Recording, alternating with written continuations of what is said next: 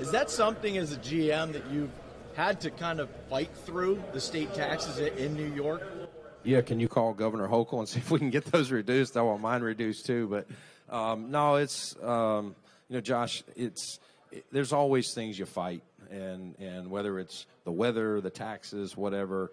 And to me, you know, as long as you have a winning program, that will you know supersede some of those things. And and again, if you're if you're a player, you got to look at everything. I'm sure they all you know they have financial guys as well, and so um, you you control what you can control is probably the best answer I could give you.